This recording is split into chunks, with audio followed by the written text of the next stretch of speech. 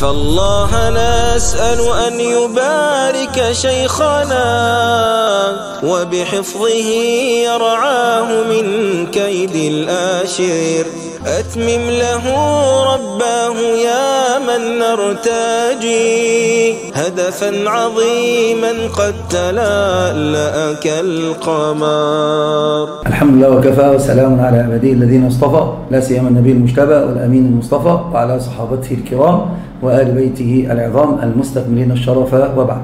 قبل شعب الإيمان ما زلنا في الكلام على حب النبي صلى الله عليه وسلم وأيضا في صفات النبي وأنه مقدم على الجميع.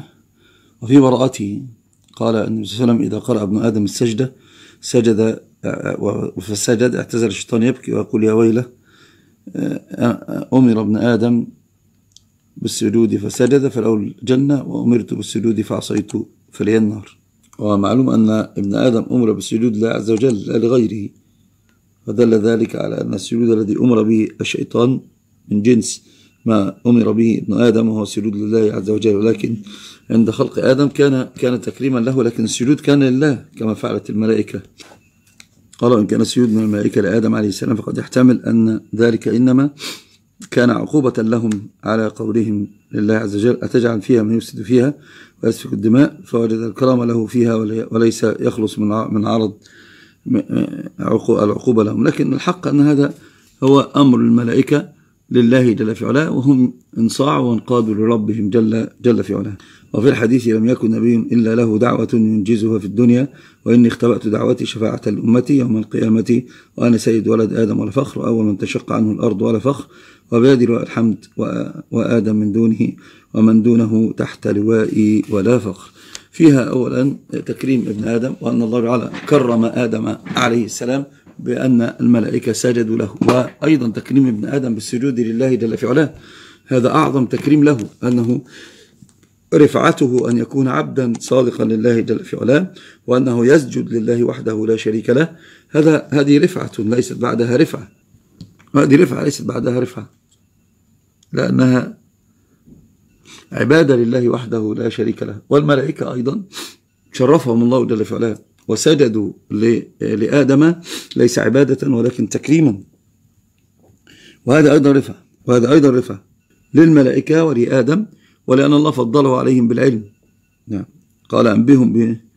أنبهم بأسمائهم والشيطان يبكي ويقول أمر ابن آدم بالسجود فسجد وأمرت. فما سجدت وهذه معناها أنه أنه يعلم بأنه بذلك لعن وأن الله لعنه لأنه لم يسمع لربه ويطيع. وفيها الشفاعة شفاعة لنبينا صلى الله عليه وسلم وهذا أعظم موقف. اللي الحمد بيده والجميع ينضوون تحت تحت لوائه.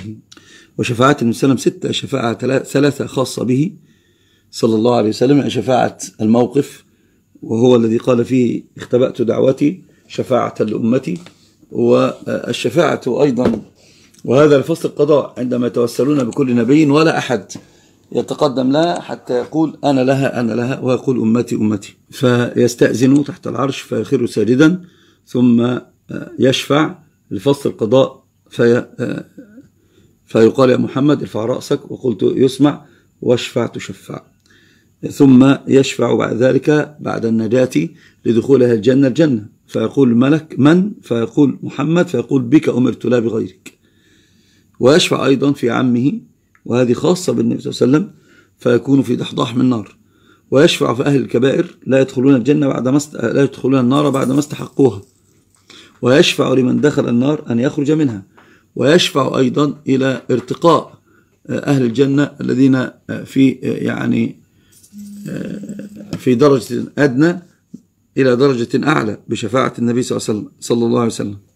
وهذا اللواء يأتي يوم القيامة. لأن الجميع يرجع ويقول نفسي نفسي ومحمد صلى الله عليه وسلم الذي يتقدم ثم يشفع هذه الشفاعات.